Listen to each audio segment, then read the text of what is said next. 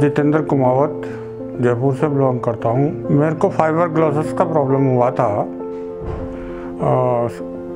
Fibre ग्लोसिस का problem हुआ तो मैंने दो तीन डॉक्टर से कंसल्ट किया। उसके बाद में मेरी फैमिली या और काफ़ी लोगों ने मुझे पुनित गुप्ता जी के बारे में सजेस्ट किया। मैंने इनसे कंसल्ट किया। उन्होंने चेक करके मुझे यहाँ एडमिशन के लिए सजेशन दिया कि आप सी के बिरला हॉस्पिटल में एडमिट हो जाइए उसके बाद उन्होंने ट्रीटमेंट किया और विद इन अ वीक मेरा बहुत अच्छा ट्रीटमेंट किया हॉस्पिटल का पूरा स्टाफ काफ़ी कोऑपरेटिव रहा सर्विस को लेकर के भी काफ़ी सेटिस्फाइड हूँ मैं तो ये हॉस्पिटल पूर्ण रूप से एक बहुत ही अच्छा हॉस्पिटल है Hi, myself Dr. Aarti Kumawat.